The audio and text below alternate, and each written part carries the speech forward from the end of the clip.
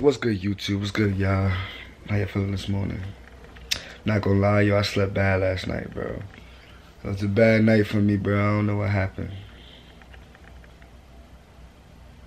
And you know how sometimes you get in your thoughts and you just be thinking about random stuff and shit like that.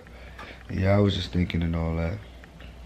But I woke up and I'm just thinking like, yo, you know, a lot of people in life aren't happy. And everything starts with you.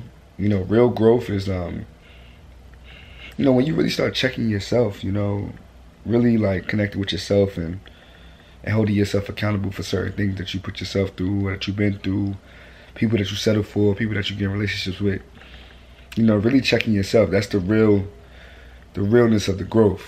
You know, really, really seeing what you allowed to come into your life. Um, rather than blaming others, you know, you take back ownership of your life. You take back ownership of, you know, of everything. You know, your own title and stuff like that, and you could just you can marinate and you know meditate on growing and becoming better. A lot of people nowadays like to point their fingers at everyone else but themselves. And I mean, like I've been that type of person, so I know what it's like. But you gotta, nah, nah, nah. You gotta, you gotta, you gotta hold yourself accountable. Because nobody in the world cares really. Like, when you go through stuff, like some people care, other people want to hear your problems because it makes them feel better, better about their own problems. But you got to really ask yourself, like, who really cares?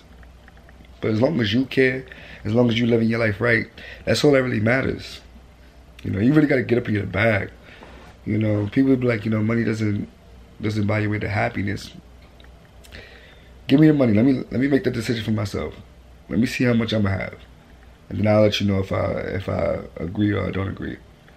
You know, everything is like you know, Make sure you hold yourself accountable. You know, focus up. Be great, y'all. And I just want to give you a real quick one. I didn't want to talk too much. So I hope you have a blessed day. It's another ET challenge.